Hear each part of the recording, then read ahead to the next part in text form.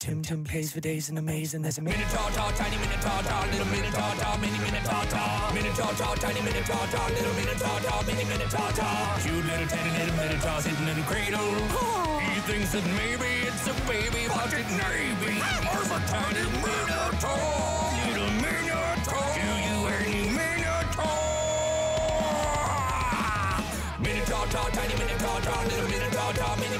minotaur, minotaur, tiny minotaur, little minotaur, mini minotaur. How do you defeat a mini minotaur? Many, many minotaurs hate tartar sauce. They're deadly allergic to tartar sauce. If you find you have some tartar, Tim Tim, you'll need some tartar to kill him. Take a look at Grim Grim for Tim Tim.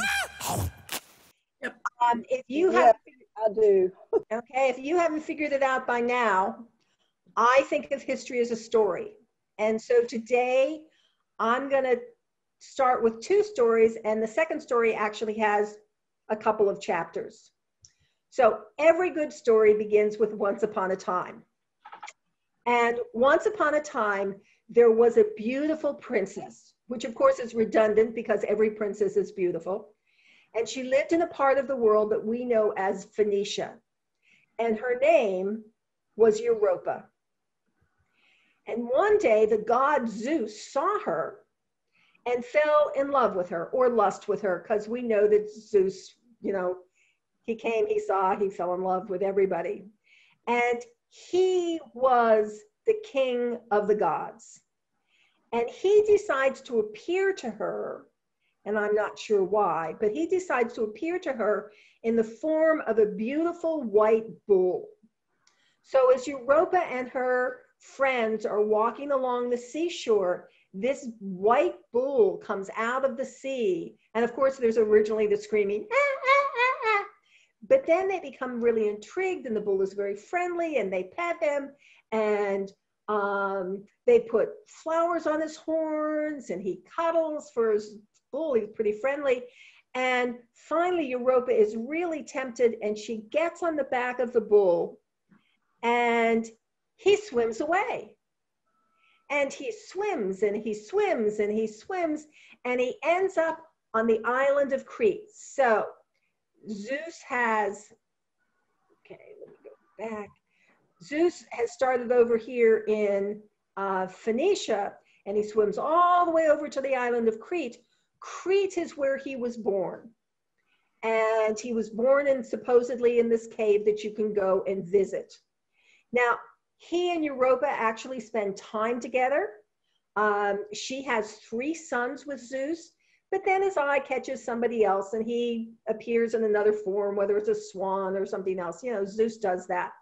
And he leaves Europa there with the three kids, the three little boys. Um, and then she then marries the king of Crete.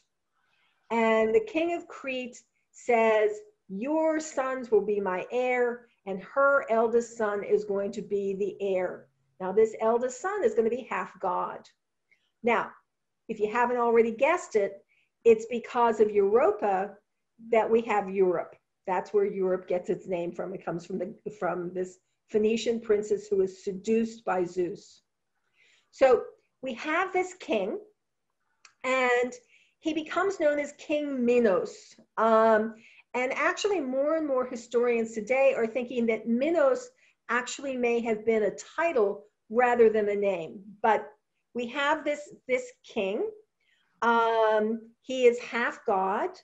Um, he gets married. He has children. And he, he actually has a pretty good relationship with his dad. And he consults Zeus if there's a really serious problem. But because of the location of Crete, he also is very, wants to say very friendly with his uncle Poseidon.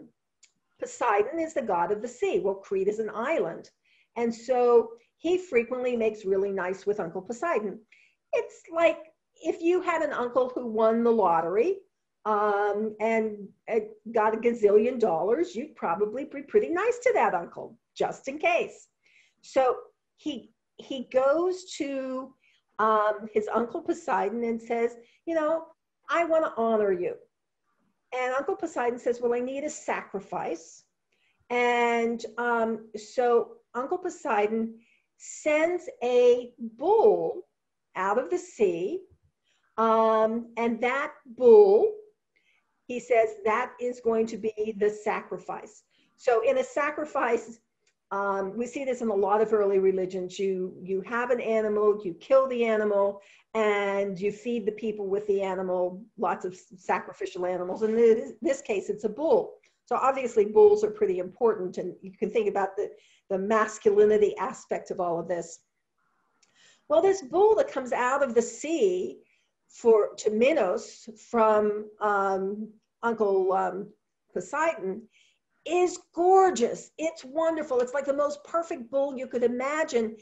And Minos and his wife talk about this and they say, you know, a bull is a bull is a bull is a bull is a bull. And maybe we'll keep this one because he would be a great father to future cows and calves and bulls. And we'll sacrifice our other bull. And that's what they do. The only problem is that that does not make Uncle Poseidon really happy. That's somewhat like your rich uncle who won the, the, the lottery giving you, I don't know, the money to buy a really expensive Rolex.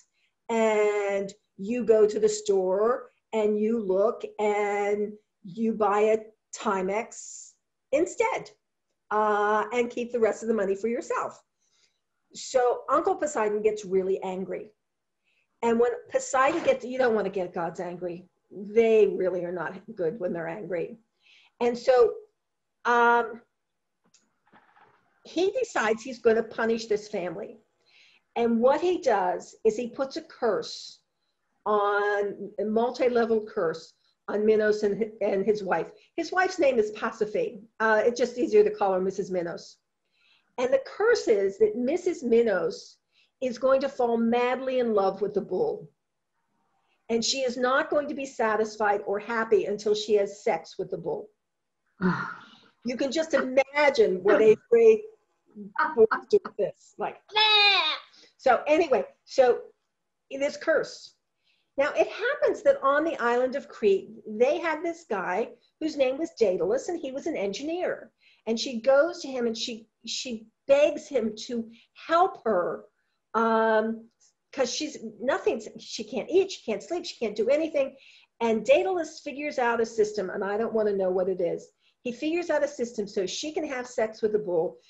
As soon as she does the, that part of the curse is broken. She's horrified and she's even more horrified to find out that she's pregnant and she gives birth to the minotaur and the Minotaur is half man, half bull.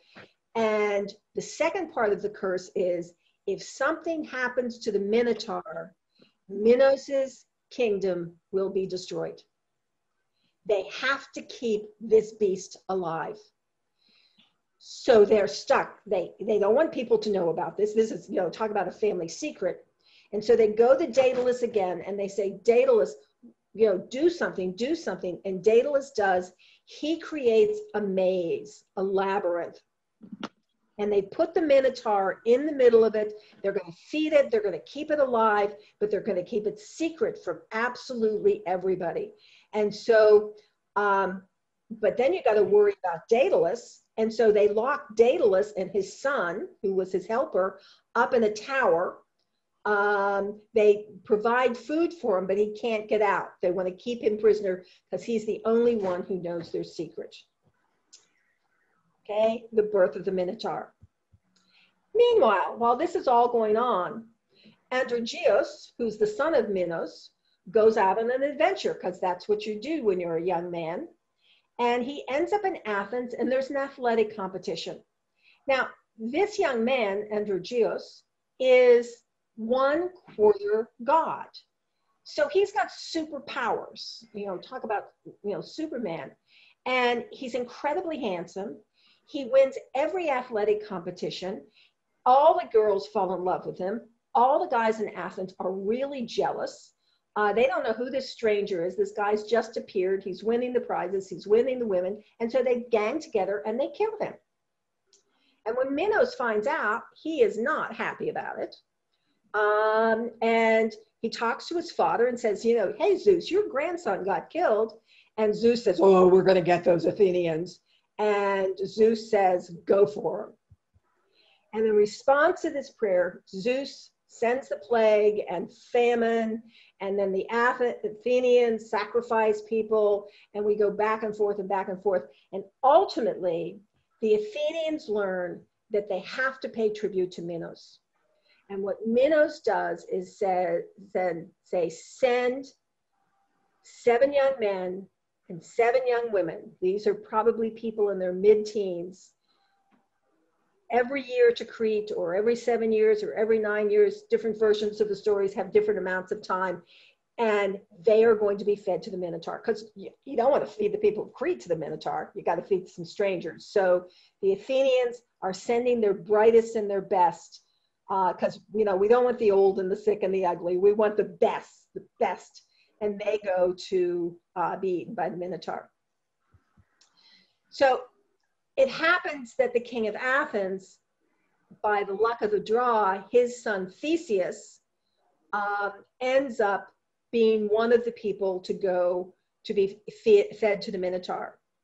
Now, they didn't have binge watching TV. They didn't have Netflix. They didn't have um, you know 24 hour television and so the gods and goddesses used to sit around and, and, you know watch humans and you know oh what's happening? And sometimes they would interfere. It's like voting on um, you know some sort of talent show um, and um, the voice or dancing with the stars or whatever you get to call in and vote. Well um, it happened that um,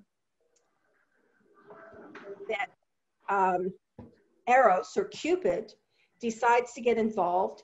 And so he sends an arrow, and that arrow hits Ariadne. And when you get hit with Cupid's arrow, you fall in love with the first person you see, and Ariadne falls madly and passionately in love with Theseus. Only problem is that Ariadne is the daughter of Minos and Mrs. Minos. So she's a princess of, the, of Crete. And, you know, she goes to Theseus, I love you, I love you, love you. And he says, well, I'm going to be killed by the Minotaur. Um, she says, I'll save you, I'll save you. And so she drugs the guards. She unlocks the prison cell that Theseus is in. She frees all the other Athenians. And she gives Theseus a sword and a ball of twine and he finds his way into the middle of the maze. She gives him some secrets about the Minotaur. She, he finds his way into the middle of the maze or the labyrinth. He kills the Minotaur, and he, because he's fastened the string to the doorway of um, this maze, he then follows the string out. He grabs Ariadne um, and goes down to the harbor. His fellow Athenians have uh, sabotaged all the ships in the harbor except theirs. They've drilled holes in the bottom of them and um, they take off and they sail out of the harbor. And eventually they come to an island where they have to um, to rest. And they rest on the island of Naxos. And the next day they take off and they leave Ariadne behind because she served her purpose. Um, and there's different versions of what happened to Ariadne. One says that she realizes that she's caused the destruction of her home and her family's kingdom, and she commits suicide. She hangs herself. Another says the god Dionysus finds her and marries her, and she, they live happily ever after. But then a variant of that is that Dionysus um, orders her to be killed by Artemis, we're just going to leave Ariadne. You can decide for yourself what happened to her.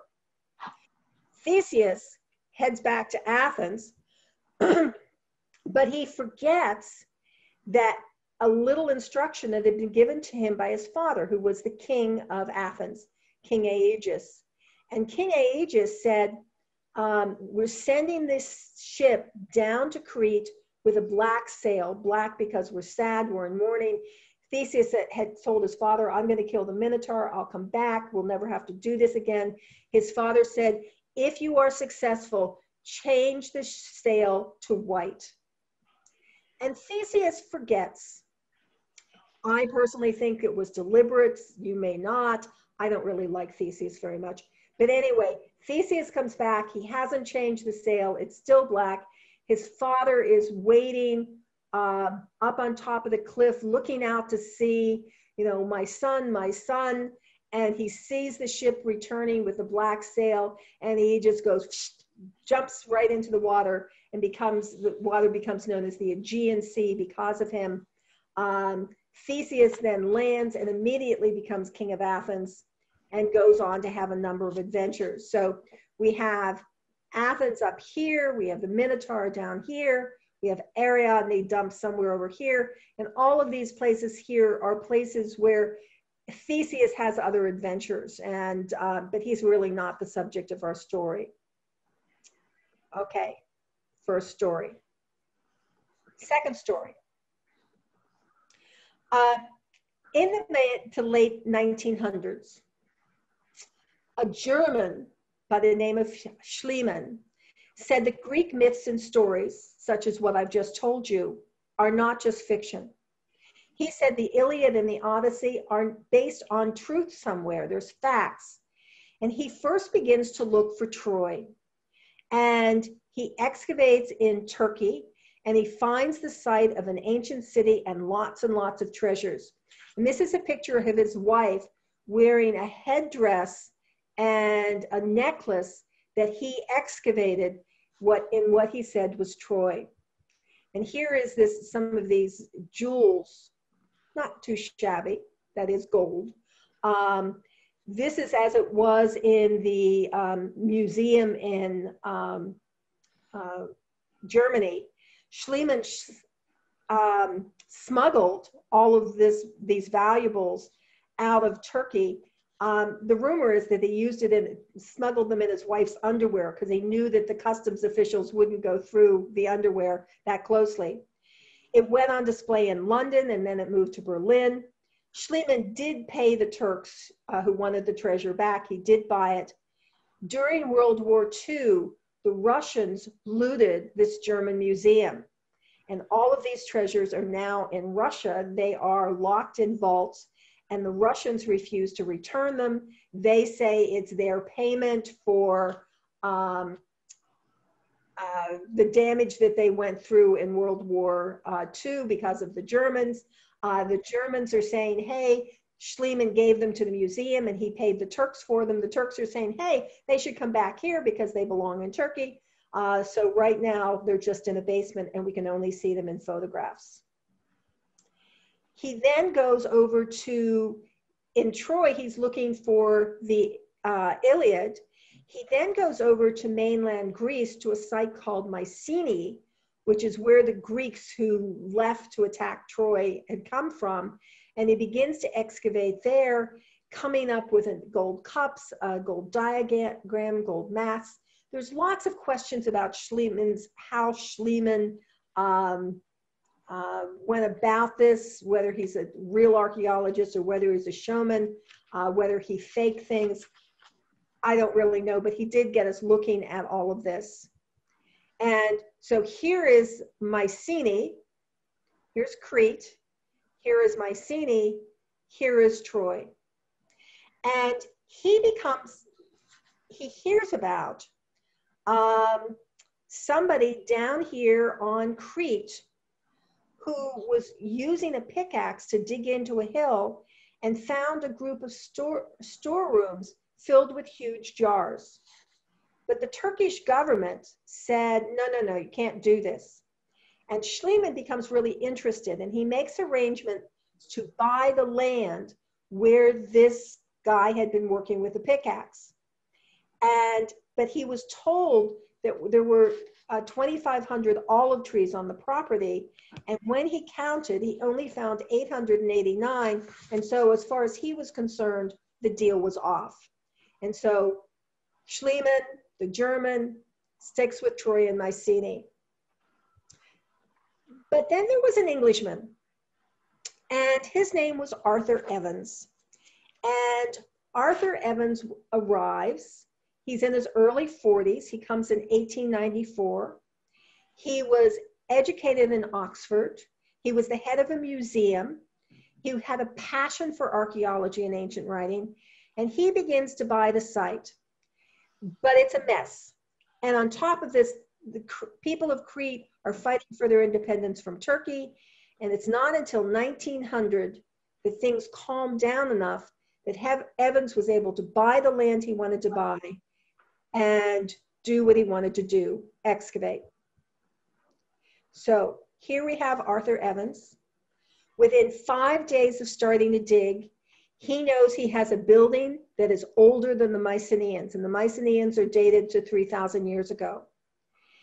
Within seven days, he has clay tablets with writing on them.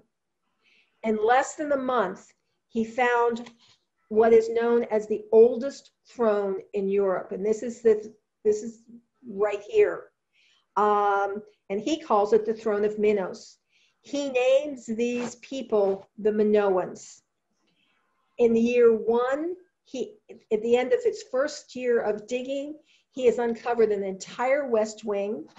Um, by the end of the third season, he's uncovered this huge palace, and then he begins to look for what's around it. The work stops for in World War One. It begins again in 1922, in which and he was more than 70 years old, so there's help for all of us. And Evan says the people who built this palace were the Minoans. We don't know what they call themselves. And much of what Evans did reconstructed, he was he dug and then he reconstructed, not repaired. And they thought that people think that he didn't stick to the facts, and so he's getting criticism. But the palace becomes the focus, but it's not the first settlement on the site. There's 10 different levels of inhabitation underneath it from the first semi-permanent homes to towns and later on a city which was centered around a palace. And you can see here, this is one of the storage rooms. And you can see the size of these clay pots. These are clay. Um, and they were used to store wheat, barley, olive oil, wine. So we question what he did. This is a reconstruction based on what he thought things looked like. But for now, I want you to just sit back and relax a little bit. Um, take a seat on this bench. This bench is about 4,000 years old. It is built along a road in a town. Um, and this was very common. The Minoans did things like this. This was built about the time, this bench dates back to about the time of the Great Pyramids. So Knossos um, is the name we give to this palace. It's on the island of Crete. The island of Crete is in the, the center of the Eastern Mediterranean. It's at the crossroads of Europe, Africa, and Asia. Got Asia over here. Uh, just by its locations, first of all, to get there, you had to be a seafarer. They, they're very good at sailing, and they become a, uh, a link between these three areas of the world at, its, um, it's 120 miles long and it's between 10 and 40 miles uh, from north to south at its 10 miles at its narrowest point, 40 miles at its, at its um, uh, widest point. Every place that you see a dot here um, is a, a known Minoan site. And we have a number of palaces. Um, Knossos is the biggest and the most famous, but there are others as well. The landscape of Crete has tall, rugged mountains. It has gentle valleys. It has plateaus. Uh, it is surrounded by the sea. There's lots of fish. It's great farmland.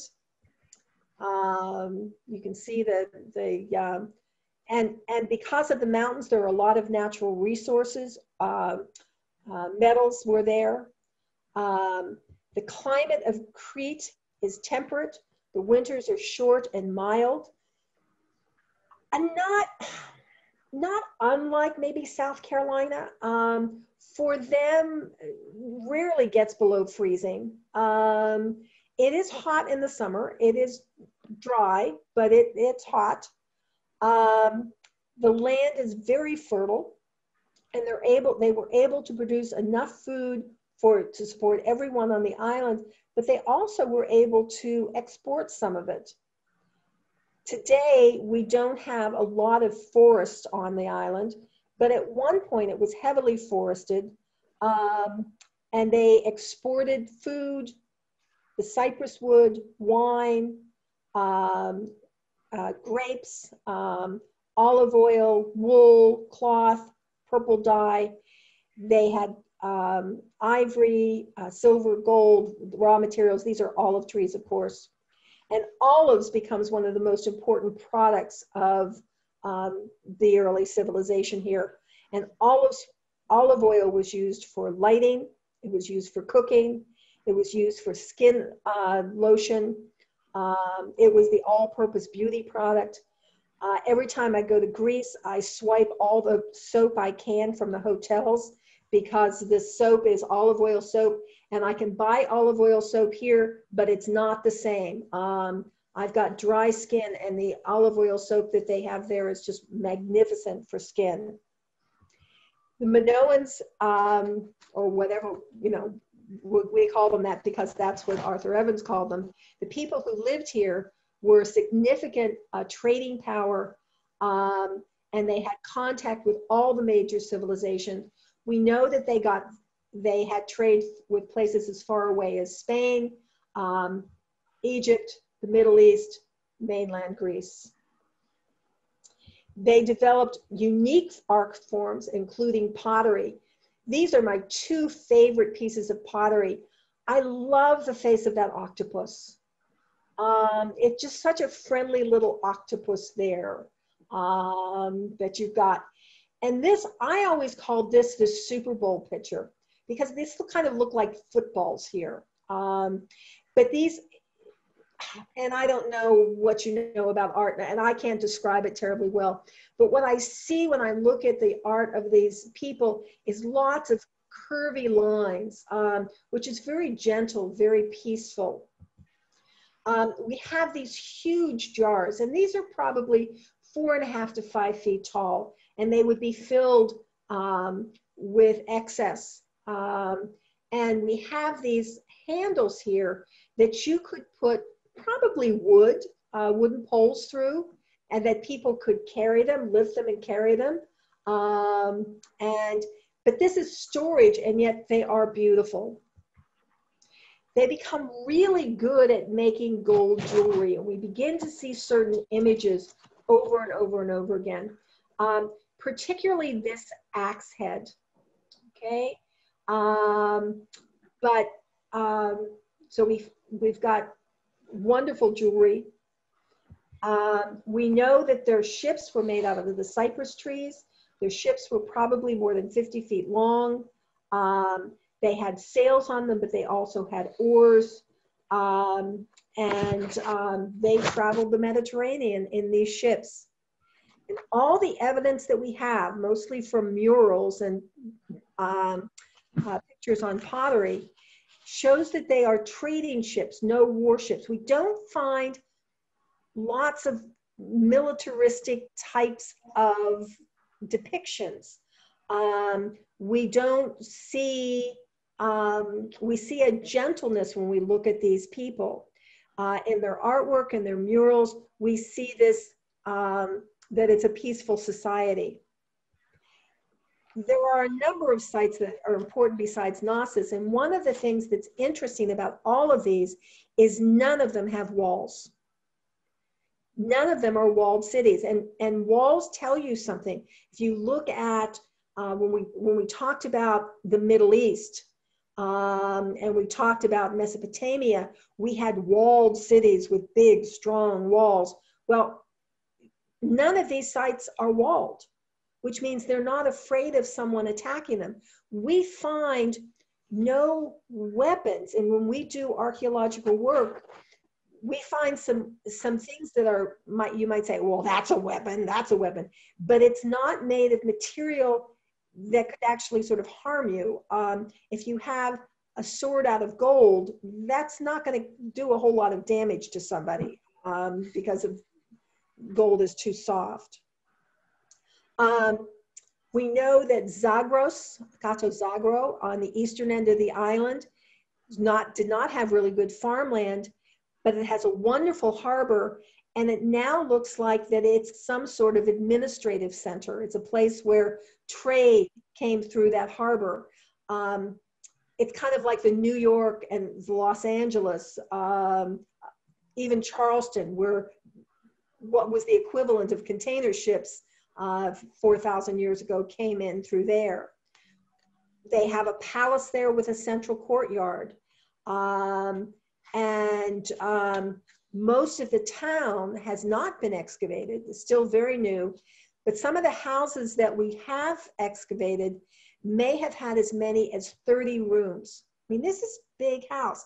And the other thing we don't see when we look at these houses is although we may see a palace, and that's probably the wrong term, um, because it's not just a place where people lived. It was a polit- it was a political center, a religious center. Uh, it's kind of like the mall, the White House, Congress, uh, all put together.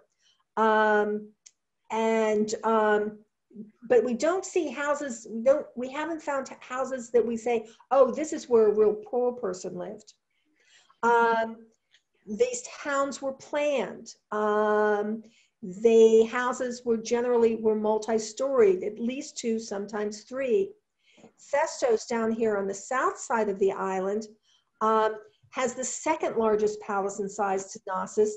It is also built around a central courtyard and they were all built on terraces. So these, these palaces were on multiple levels.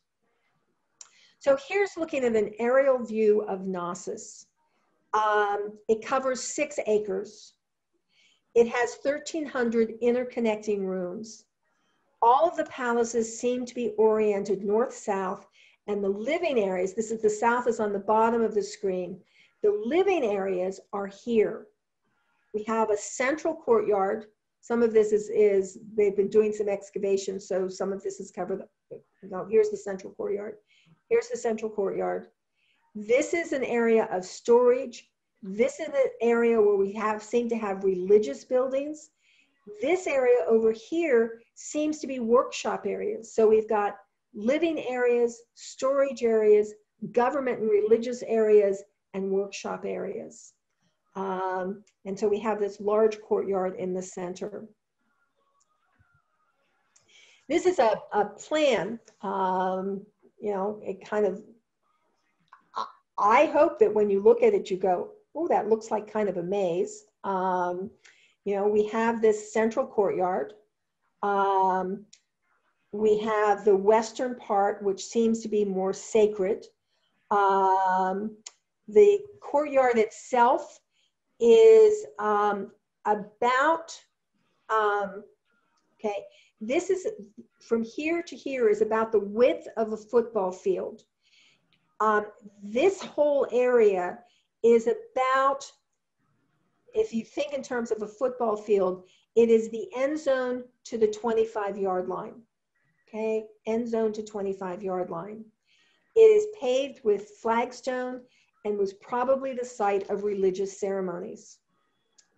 Now, this is an artist's depiction of what they think um, this looked like. And again, we call it a palace, but it's much more than that. Here we have the central courtyard. Here we have workshop areas. Here we have living areas, uh, storage, religious and government areas. Uh, this is kind of downtown all put together. Here's another view, artist view of this area. And this is a road. This is a road that connected Knossos to the harbor. Today it's a fair distance from the harbor, but the harbor has silted up. Um, some people claim that this is the oldest paved road in Europe. It dates back more than 4,000 years. So here's the road, and this is a kind of an open area where there was kind of a one of several amphitheaters that they had. Um, and the road brings you to the palace entrance, which is a great, huge room. Um, and um, from this room where you would be greeted, you climb up a ramp. The ramp goes right up behind these pillars. You climb up a ramp and you enter into the courtyard. So this is about as militaristic as it comes. This is the road. you've come up from the harbor, you come up this road, and so you have this level above you where I suppose people could drop stuff down on you. You can only go through, um, maybe in ancient times, people were a little uh, more skinnier, narrower. Um, this is sort of a one and a half person width passageway. Um, maybe you could fit two people in side by side. But today you pretty much go up this ramp single file, um, a little bit offset. If you had a child, the child could be next to you.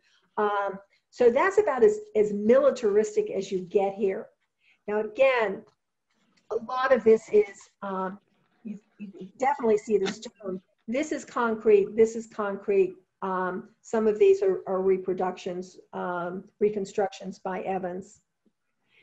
But when he came into this throne room, the throne was the first room off the courtyard. We call it the throne room. It probably was a religious room. Um, and a lot of questions as to whether or not it was for a priestess. It's a lot of questions about whether or not this was a matriarchal society. It's hard to tell. This stone throne, this is original, it dates back more than 4,000 years. This bench is original, bench that goes around the side. This bowl was here, it's also more than 4,000 years old. It was not in this location. They've moved it um, um, from an area where you can look, but you can't go in and, and can't see it very closely. This floor is again 4,000 years old. Now, the wall this is reproduction. And, but we know there was a fresco because the, the walls of this, the, of this house, this structure, um, there's wood and plaster and of course decays over time. The wall collapses the mud there's mud brick. And so the plaster falls off the wall and on the ground and it's a giant jigsaw puzzle. And they're pretty sure that this is the, both the colors that they used and the kinds of things. Now, is he absolutely right? Not really sure, but pretty close that this is what this room would have looked like. So here's a case of, this is a picture when they're just starting to reconstruct. This column, this column is reproduction um, reconstruction. But this is what he found. These stones, these steps, he found that. None of that is rebuilt. Today, this, this is an artist's view of what it might have looked like. This is what you actually see today. And that, that throne room that I showed you is down in here. And you can see here we've got level, two levels, and maybe three levels up here. This is one of the um, 18 storerooms that they have with these large pithoi. Um, one of the things I always thought was neat is that these were additional hiding places. There were flagstones that went across here. And we see evidence that people put valuables in here gold, silver, precious metals, things like that. And then you could put the flagstone over it and then move the pithoi on top. So nobody would know where your valuables were. It's like a safe in the floor again, 4,000 years ago. This is an artist's view of what the southern entrance would have looked like, and you'll see that it was the palace is built up on top of the hill. This would have been the courtyard level, another level up above it, and you can see maybe two more levels, but you also have levels that go down the hill as well. Um, the, uh, this is away from the harbor, um, they're, begin, they're beginning to think that maybe this was some sort of religious ceremonial um, uh, entrance. We don't really know. We've got lots of questions. So one of the things that Evans found when he first began to excavate in 1900 was a staircase.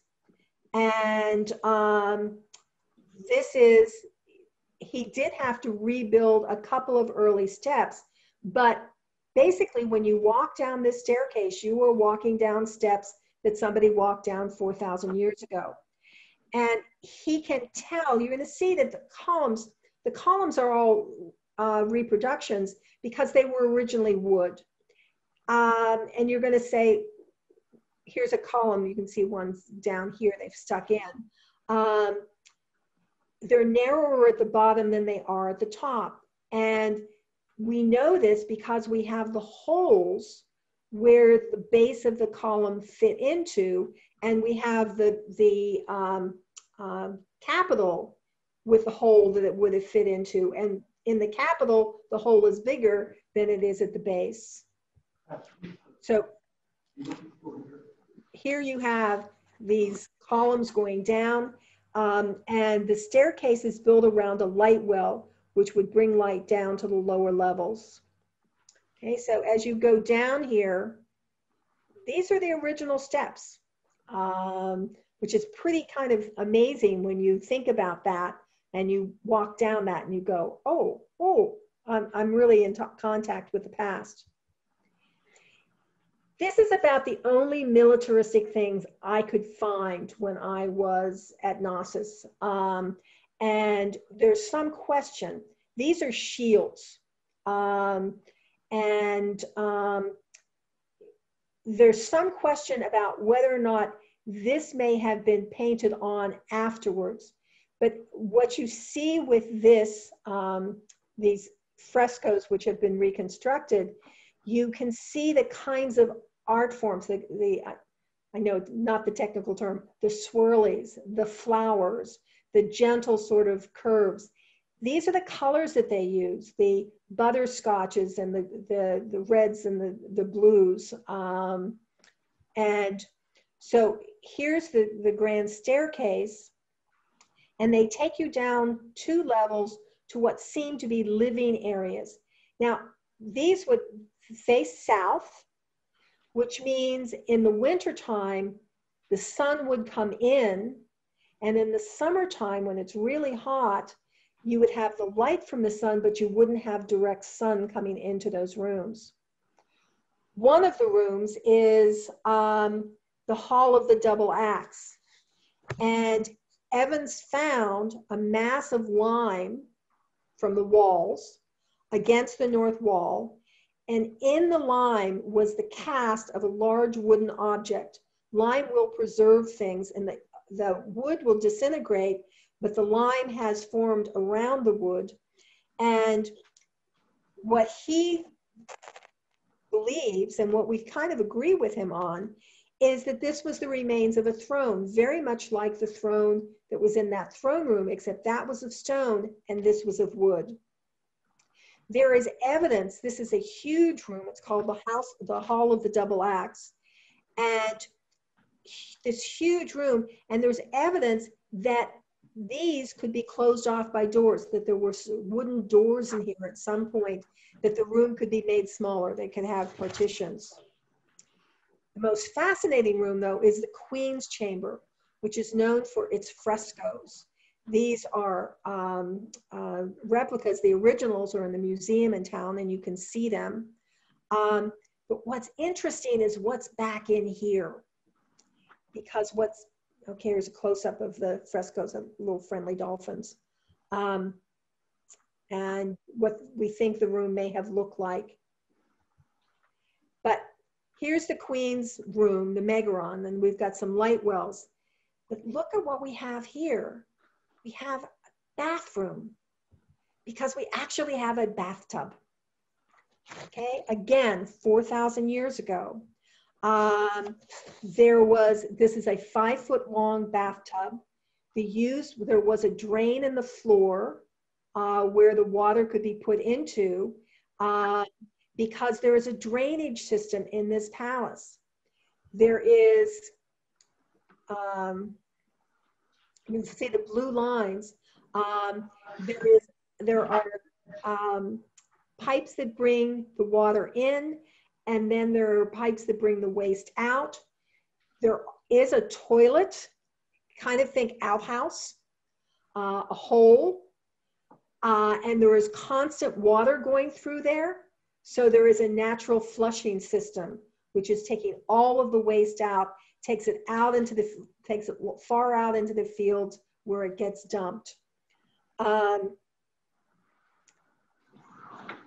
we, here are some of these pipes, and we find this drainage system not just in the palace, but we find this in the homes of ordinary people. So it looks like we have, again, 4,000 years ago, people with water system being brought into the house. Now they have traced the, the source of the water back to a spring up in the mountains.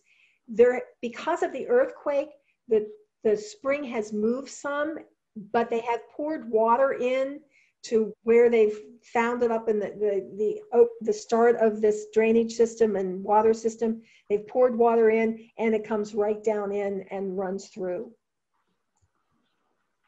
So, but what about this myth here? Okay, yeah, that palace sort of looks like a labyrinth and okay. One of the things we know is that this, this is called the House of the Double Axe and we see this double axe everywhere. We see it in gold. Okay? You're not going to cut anybody with that. We see it carved into stone. We see it on pottery. And we know that the Greek word for double axe is labyrinth. Labyrinth, maze, hmm, maybe. We find these these double axes, they're found everywhere. And again, in gold and silver, you're not going to actually use those in battle. They're absolutely decorative. We see them in um, depictions of uh, this is a ring. And one of the things that's really interesting is the number of places that women are depicted in frescoes, in jewelry. Women seem to be all over the place, um, which of course leads people, you know, what is the role of women uh, in this society? Uh, they're certainly not, they are, they are as depicted in art as much, if not more than the men are. Um, here's some pieces, some frescoes. Um, this woman is known as the Parisian because of her makeup. Uh, obviously, they've got makeup, they've got jewels. Um, we've got all of, you know, lots and lots of women. And one of the things that's really interesting is that women are always viewed with white skin. Men are with orangey skin. And that's what the Egyptians did. So they've learned a few things from the Egyptians. So here we are with the women, the double axe in the background, which is obviously a symbol of the government. And we've got these three women. Mm, is there some meaning to all of that? We also find bull.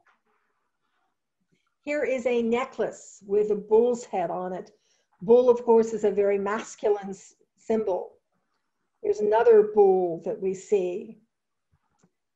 The palace is decorated with these stones. This is not a reproduction. This is how it was. And these were found all around the palace. They lined the roof. They are obviously, you know, the bullhorn is protecting them somehow.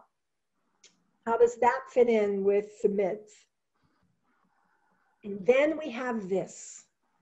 We have bull leaping. And this is obviously something that they did. This is a ring. Um, and we've got a person doing acrobatics on the back of a bull. And this is perhaps the most famous fresco. We have two women. We have a man we have one woman holding on to the bull's horn and she's getting ready to flip herself over, land on the back. Here's somebody spotting here. And you begin to look at this and say, oh, hmm, if this is a sport that they wanted to do, um, you'd probably have to start training someone to do this when they were pretty young probably not going to start this when you're, you know, 17 or 18 years old. If we look at our gymnasts today, because this is really gymnastics, if we look at our gymnasts today, the really good gymnasts really start training when they're four, five, six, seven years old. So, you know, would you want your children to do this job? Okay, this has got to be a little bit dangerous. So, could it be that the Minoans, because of their trade, borrowed, took, demanded other people's young children? Take them when they're four or five. Don't take them when they're 15 or 16. Take them when they're young. Train them to be bull leapers. I don't know how long your career would be. I mean, some would be fairly short. But if you were really good, you might stay good till you're in your 20s and then you'd retire. Are you going to go back home to Athens or Corinth or someplace else? Or are you going to stay in the place where you've been for 15 years? Um, so, is there some sort of, hmm, something about this with the bull? And let's look at this this courtyard. This would be used for religious festivals. And one of the things, this is a big area. Um, again, it's about a quarter of a football field. And could you have a ruler who would be standing there giving instructions. Um, and one of the things we all we know is that frequently masks were used to help people project their voice. And if Crete is the birthplace of Zeus, and uh, the bull is a symbol of Zeus, could you have a ruler who might wear a bull's mask? And if you were a foreigner visiting, and you come and you see this palace, you try to find your way. I mean, you can find, you can go online and find copies of this. You know, you, you start, if you look at it as kind of a maze, I mean, how can you get from one place to another? It really is very difficult. And know that you've got about three levels down and three to four levels up. So you've got like seven levels in this palace. It would be really easy to get lost. So and when they go home and they tell these stories, um, do they get exaggerated? Um, and um, so maybe there's some truth here. So here is this, this picture uh, of what we think uh, the palace may have looked like. We, we know that there is a goddess um, you know, she's got a dove, she's got snakes. Um, um, we, this is my favorite piece of art. Um, it's actually a, a coffin. Yeah, well, I just, I, I, look at this and I have lots of questions. First of all, I love the swirlies. Um, we've got um, the double axe over here. We've got some sort of ceremony. This is a tomb over here. This is the guy, this is probably the guy who is dead. Uh, he has no arms. So that, you know, probably that he's dead. And we've got people come, men, bunch of men coming with cat, uh, two cows and a boat making sacrifices. um, I guess one of the things that I'm really interested in is this guy right here. Um, because he's dressed as a woman. Uh, it's a he, unless they got the colors wrong. And yet, and here we have a woman who's dressed more like the men. Very interesting, lots of questions. So here's a close up of that. We have tons and tons of questions, and we can't answer them because all we have is archaeological evidence. We have writing, we have lots of writing we have actually two kinds of writing. One is linear A and one is linear B. Linear B is later and it's Greek and we can read it and it turns out it's sort of shopping lists. It would be like going through my purse and pulling out the CVS receipts and trying to figure out my life from the CVS receipts. Um, you know, it'd be a little strange. But this is the writing we have the most, and this is what we call linear A. And we can't read it. Uh, although they keep claiming they're working at it, um, we don't know if this is a word or if this is a sentence. I see a baseball glove here. I don't think they had baseball gloves. Um, here I've got a man and I've got a fish. So was the man fishing? Here's a slice of pizza. This is a fire hydrant. Um, got a bunch of fire hydrants. Here's another running man with a flower. Here I've got two fire hydrants. And look here, I've got a guy with a mohawk. Okay, I don't know who that is. So we're trying to figure out, we don't think these people spoke Greek. So because we don't know the language and we haven't found anything that has both linear A and linear B on it that we can translate, we can't read this. And so all we have is archeological evidence and guesses. So here's linear B and we can translate this and as I said, there's shopping lists. And the question you might want to ask is what happened? Well, one of the theories is has to do with this island up here, the island of Santorini. And the island of Santorini is, it's either the same civilization or it's a different civilization. Their lifestyle is very much the same. Um, and this is the island of Santorini, but at one point, this was all whole. This whole center part was once, is the caldera of a volcano. This volcano blew its top. And when it blew its top, um, it just, it covered up the civil, the cities on this island. Um, and the guy who began to excavate this um, talks about how important excavation is. This is what we see when we, um, this has been covered with ash. And when we go in, here the wood has been preserved. Nothing has been reconstructed. And you can see that it's very similar to what Arthur Evans did. Um, so um, this is the city of Thera. Um, and they barely scratched the surface of this and they keep running out of money and it's closed down most of the time. But you see that you, we've got streets, we've got houses along the streets, we've got narrow streets. Um, and so this is what we think Knossos would have looked like. Um, there could have been a palace here, we just haven't excavated here. Um, this is a wooden table that was uh, covered with lime. The wood is now gone, but the lime has kept the form of the table. Um, you know, that could go, if you thought about that in wood, that could go in a house today. We found bulls there. Um, but the island of Santorini, you can see um, that you've got all of these layers of volcanic ash. There's just, you know, because when you go in, when you sail in, which is the way most people go, you're sailing right into the caldera or the center of the volcanic.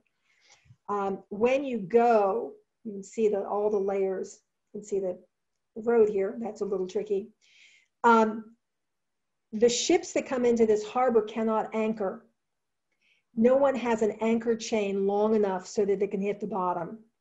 Um, and so the ships that come in, um, when you come in on your cruise ship or whatever, if you're, if you, unless you're small enough to come into a dock, your ship basically um, keeps the motor on low and keeps going in circles around the center.